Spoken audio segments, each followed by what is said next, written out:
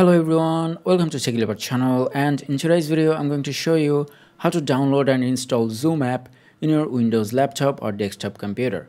Now the first thing that you have to do is click on the Microsoft Store icon. If you don't see this icon here, you can just go to your search box and then type in Store and then click on Microsoft Store from the top.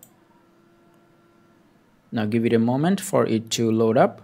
Now what you have to do is just go to the search box and then type in zoom and then click on zoom. Now just click on install. You may also see the button that says get. So whatever you see just click on it. And now the download will start and then it will be installed automatically. You don't have to do anything. Once it is installed just close this window. And now go to start. And here you can see zoom. Now right click on it and then go to more and then click on pin to taskbar. And here you can see the zoom icon. Now all you need to do is just open it.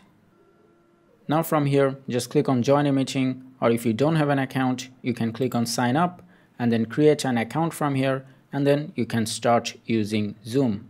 And that is how you can download and install zoom app in your windows 10 laptop or desktop computer. I hope this video was helpful. If it was please give it a thumbs up and don't forget to subscribe